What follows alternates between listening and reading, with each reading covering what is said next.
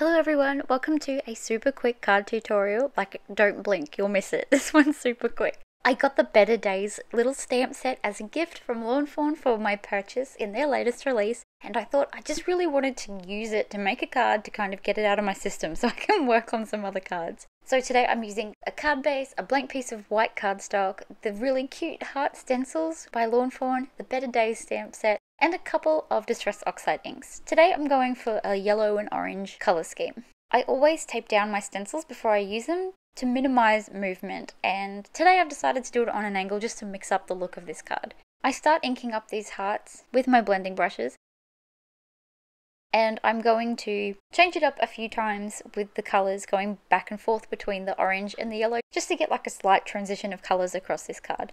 As much as I like how this background turned out, I think next time I will use my little foam blending tools. I just feel like I'm really heavy handed with these inks and these brushes. They're great for when I'm doing really big backgrounds and things like that. But I'm finding I'm just way too heavy handed and my ink gets a bit smudgy even after I lift the stencils up. And no matter how hard I try to keep them still, I still get ink everywhere. I think I'm just a bit of a messy crafter. As you can see, my background's a little bit splotchy, but after I gave it half a chance to dry, I thought it would be cute to add some gold flecks all over it, because I just can't help it, I have to make all my cards shiny. Today I'm using the yellow gold and the red gold. I love this little Better Days stamp set, I think it is so sweet and the sentiments are fantastic. They're going to be pretty versatile, and this little bunny is really cute, so I'm just so grateful that Lawn Fawn put these little stamp sets in our orders, it's just lovely. Here's that little bunny holding the heart. He's really cute. And I don't actually own the stamp set where this little bunny design was originally from.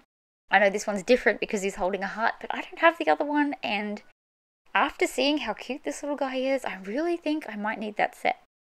Because, you know, I don't have enough lawn fawn as it is. I'm going to very quickly colour this little guy in with some alcohol markers, just using that super simple technique of two colours per area and blending them together. There's really not a lot of colouring in this card. This one was super quick to make.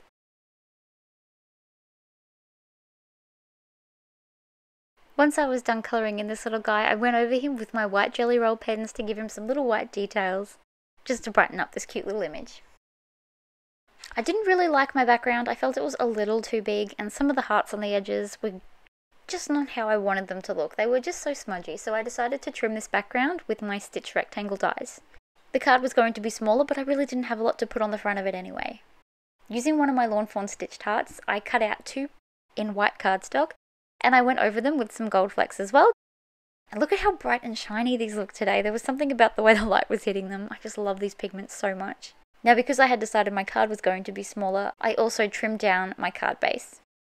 And now I'm going to add my double-sided tape to the back of this piece before I start adding my little images on the front and before I start giving them dimension.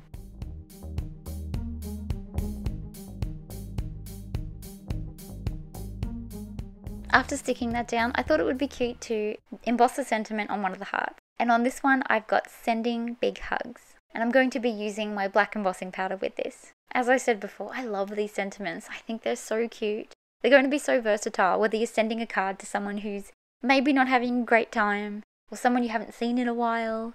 They'd be great for birthdays too. They probably would go really well with the virtual friends sets as well. It's just nice to have a bunch of sentiments to use. I'm going to be adding some double-sided foam squares to my little bunny to give him some dimension, and I'm going to be adding them on the back of the heart with the sentiment so that that one has dimension too. I removed the backing to the foam squares and then placed these hearts onto the front of the card.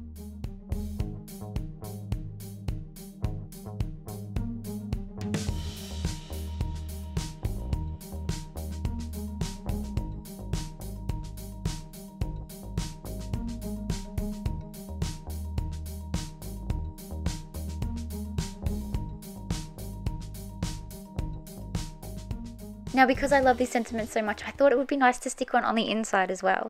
So I'm going with I hope you feel better. Until then, I'm sending hugs. And there we have it. This card is complete. How quick and easy was that? Such a nice quick project if you've got a little bit of time this weekend to make a card. This one would be easy enough to do multiples of as well. I hope you love it. Please don't forget to give this card a thumbs up if you liked it. And please don't forget to subscribe. I'll be back again very soon with another card tutorial. Have a great weekend!